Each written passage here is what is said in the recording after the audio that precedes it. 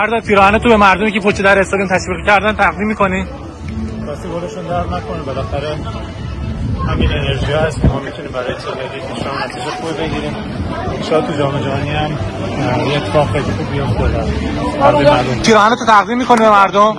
پیراهن برای همه مردم برای